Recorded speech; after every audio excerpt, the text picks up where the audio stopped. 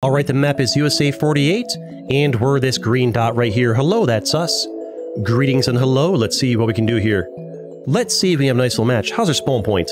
It's decent. I've got this little area of Canada to myself up here. But after that, we're going to be immediately boxed in by one, two, like three or four players. This guy's boating their way into my area as well. Not great. I guarantee you something across the board, yeah, like these guys got better spawns. I just don't love spawning in the middle of the map too often because, well, sometimes you'll get a good early start, but then you get ganged up on pretty severely. But, well, maybe we should be starting over there because spawning in the corners is not working. I, don't know what it is about USA 48 today, but I am struggling to get a USA 48 win on either of the free-for-all modes. I've tried both. Just every other map I've been doing today, crushing it. I, I won like four wins in a row with other maps, but this one, uh, just struggling. Struggling to get these wins. I'll, you only got a few hundred troops. I'll try and get in on that. Get these gains. What's that? Unclaimed pixel. Filthy. It. Make our work our way down here before they kind of claw up into our territory too much here. Oh, hello. I do want this. I see you there. Get some of this, bit of this. And, oh, who's looking? Sonia, some of you. Work over there. Try to keep my troops up. How are you doing, troops? Enough that I don't have to worry about you too much. I can attack you guys now, I think. Get some of this. You're going to block me in there. What happened to two up here? Oh, there's Mother Russia and Russia are still fighting, which is huge because it's giving me the opportunity to like get into this myself, which is fantastic for us. Yes, you go to war with each other. That was huge for us. Those two infighting, big gains for us. Big gains for us because now I can push you out like you're nothing. That's huge. Oh, that was so good for us that you guys went to war.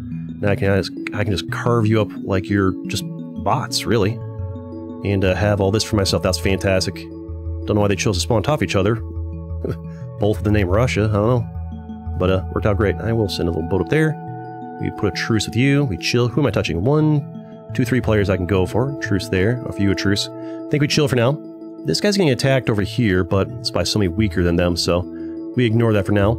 I think we build up. Got the crown. A, a great start. These two, if these two had actually like, if it had just been one person who got all that, I'd not have the crown. But the two of them fighting a bunch, and then me cleaning up, getting all this air for myself and some of this.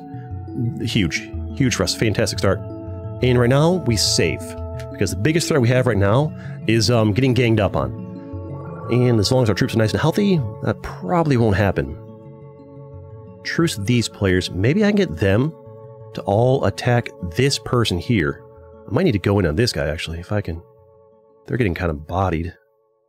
Get in on this. Let's grab a few of these little islands. Might send too many troops there, but it's fine. Get some of this.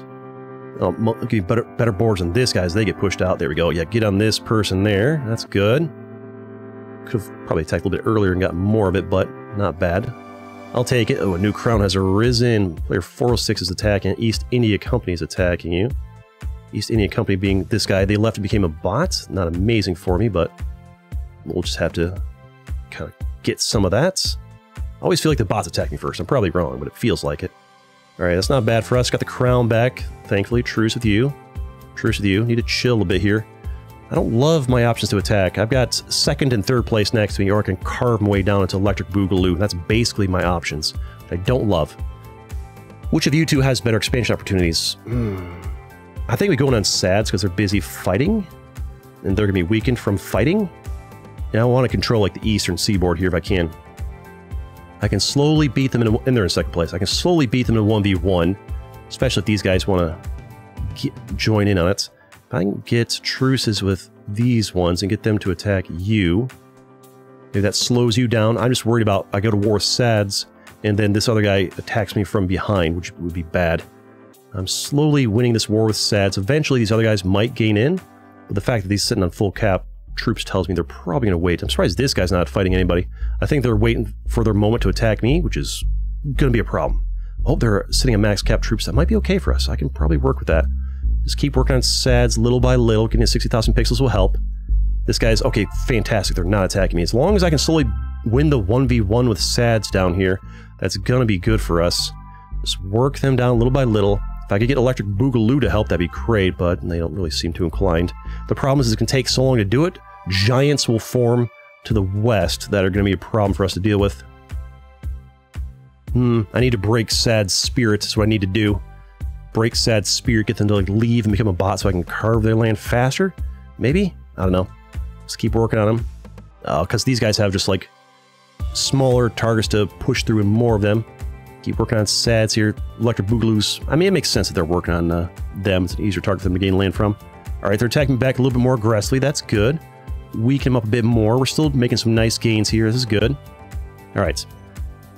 Put some truces out here with these guys. Give you a thumbs up to attacking them, maybe? Keep working on SADs. Put some more truces out here for the future. Still have the crown. And actually, I mean, we're 20,000 pixels above second place, so we're still managing to... Because we played a little bit more risky, attacking a little bit sooner than they did, even though we had a tougher target. This guy could easily be, have the crown and be better than me. Wait, no, this guy... Oh, that's huge that this guy's... Yeah, yeah. Get more of them to gang up on them. Slow down their ascent increase my ascent over here of gaining troops. That's good. Carve through sets faster and faster and faster, getting more and more. They left and became a bot. That's good, because now the bot will attack randomly. Ooh, the first attack wasn't on me this time. Fortunate. I don't know why I attacked that person twice in a row. I think it's kind of random. So I feel like most of the time, I eat the first like two or three attacks from the bots when somebody leaves, but this time, not so much. Huge value for us. And guess who's next, Electric Boogaloo? It's definitely you, because you did literally nothing to help me with them. So I, I owe you nothing. You were a useless alliance. I might as well have never been allied to you at all. When I need you to help, you did nothing but watched. So we'll carve through you. Gotta worry about uh, Shaggy um, pretty soon, I think. New Zealand's a good target, too. I like our... Oh, New Zealand's getting attacked by Shaggy? I may as well might as well get that land from New Zealand, I think. And then deal Shaggy next, perhaps. We're getting to a point where we're getting so big where they might start seeing me as like a really big threat, which I need to be concerned about. This guy's not attacked me yet, and he's probably mad at this guy. So I can probably work on Shaggy in the meantime before they all decide to gang up on me. As long, yeah, yeah. See, now they're like, I'm lucky that, ooh, this guy left me, came and bot. That's good. They'll start attacking randomly, sometimes me, sometimes them which is great. There you go, they attacked me, but it barely did any.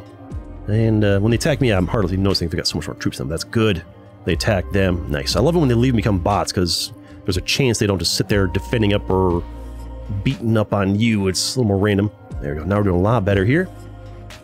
Work on Darnell here, because uh, I just need more land, and these guys are probably... Like, I think at this point, it's going to be an emotional grudge match amongst these three. These three are no longer... I don't think these three are playing to win anymore they're they're they're playing to make sure the person that they're mad at loses. I think that's a situation we're looking at right here. I think that's honestly, I might vote for peace with this guy. Like maybe, maybe this this guy too. Um, I mean, I could. I, I feel like these guys won't let me vote for peace. I feel like this guy's gonna keep attacking that guy because he's mad at them. Um, I don't feel like do I do I owe do I owe, owe, Russia anything? I wasn't honestly paying enough attention to know if they were helping with the the fighting and the attacking or not. Um, wait, this guy left and became a bot, so there's no reason to vote for peace with this guy. I'll vote for peace with you because you attacking that guy and distracting them from bothering me made it so much easier for me to win this match. So I'll definitely give you a, a second place right there. And little uh, strong, muscly boy there. Wait for that vote for peace to show up. Where's that? Come on, show me the peace. There it is. You'll love to see it. Smash that like button. Let's go.